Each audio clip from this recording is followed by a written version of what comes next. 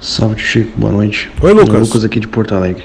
Boa. Tio Chico, olha só, eu tô com uma dúvida bem grande aqui.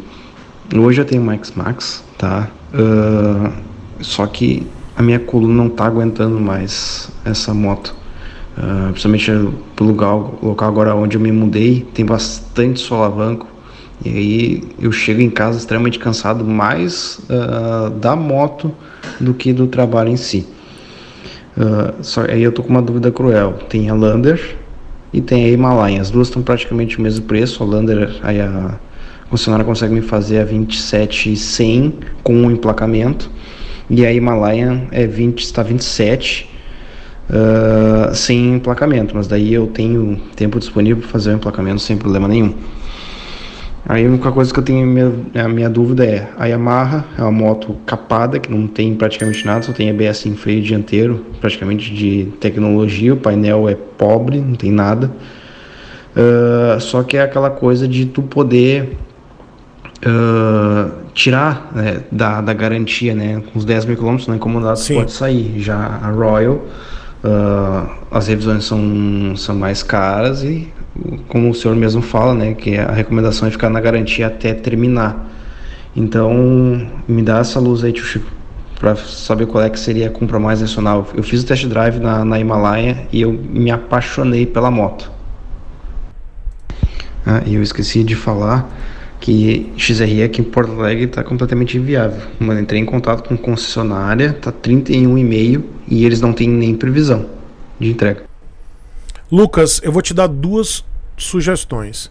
Primeiro, aguarde. Aguarde. Porque a, Honda, ela tá para lançar uma XRE nova.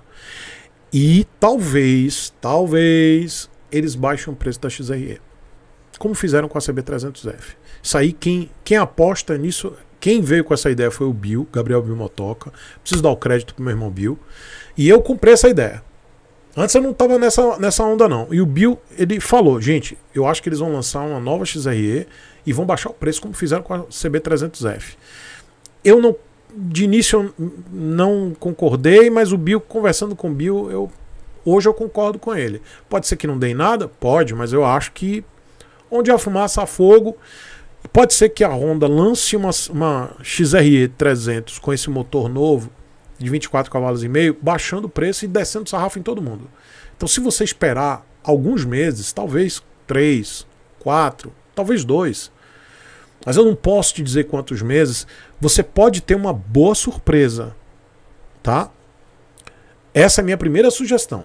Aguarde, pega o teu dinheiro, aplica, aplica o dinheiro e observe, porque tem coisa que vai acontecer no mercado, tá? Tem mesmo, vai acontecer. Só não sei quando. Ah, e a segunda é, se você tá na dúvida, cara, vai de Lander. Se você tá se sentindo é, inseguro de pegar uma Himalayan, de ficar na, na garantia e depois sair da garantia e se dar mal, tal, cara, vai pra Lander. A Lander, você não vai ter dor de cabeça.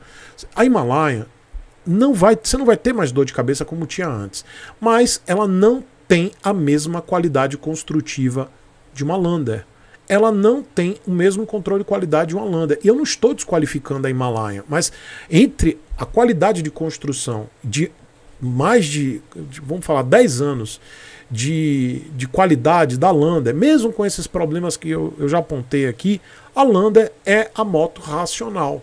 É a moto para quem tem a dúvida, dizer, cara, vai de Lander. Vai de Lander, cara. É xoxa, é manca. Se você olhar demais para pro plástico, arranha, né? Mas é uma moto mais confiável mecanicamente falando.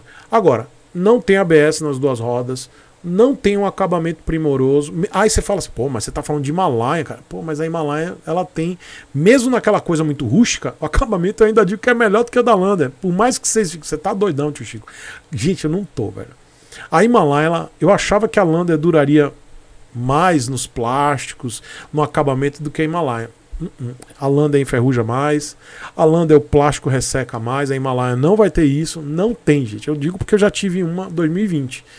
E eu vendi essa moto impecável. E a moto eu não ficava lambendo a moto. Então, se eu tivesse a Lander na mesma condição que eu tive a minha Himalaia, cobrindo com capa, deixando na chuva, sem lavar dois, três, quatro meses, a minha Lander estava toda enferrujada e a minha Himalaia não estava. Mas ainda assim, Lucas, eu digo, vai de Lander. Vai de Lander. Se você quer a razão, vai de Lander. Agora, se você, poxa, mas eu curti pra caramba Himalaia, cara, a moto é na minha pegada, então vai de Himalaia. Agora saiba, fique na garantia nos três anos, não saia. Tá? Não saia da garantia. A Lander, depois dos 10 mil sem problema crônico, pode sair. Tá? A bola tá contigo. Mas lembre-se da minha primeira sugestão. Aguarde.